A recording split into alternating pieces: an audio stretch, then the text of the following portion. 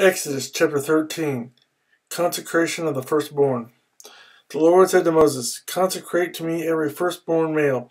The first offspring of every womb among the Israelites belongs to me, whether man or animal.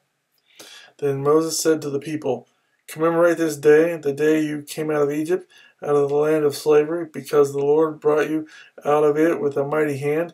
Eat nothing containing yeast. Today, in the month of Abib, you are leaving when the Lord brings you into the land of the Canaanites, Hittites, Amorites, Hivites, and Jebusites, the land he swore to your forefathers to give you, a land flowing with milk and honey. You are to observe this ceremony in this month. For seven days eat bread made without yeast, and on the seventh day hold a festival to the Lord.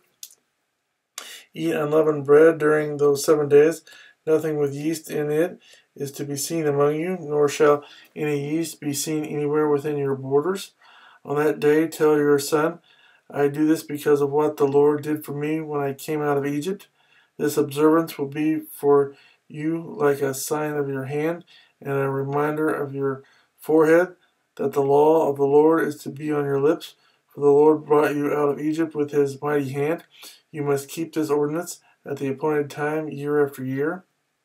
After the Lord brings you into the land of the Canaanites and gives it to you, as he promised on oath to you and your forefathers, you are to give over to the Lord the first offspring of every womb. All the firstborn males of your livestock belong to the Lord. Redeem with a lamb every firstborn donkey, but if you do not redeem it, break its neck. Redeem every firstborn among your sons. In days to come, whether your son asks you, What does this mean? say to him, With a mighty hand the Lord brought us out of Egypt, out of the land of slavery. When Pharaoh stubbornly refused to let us go, the Lord killed every firstborn in Egypt, both man and animal.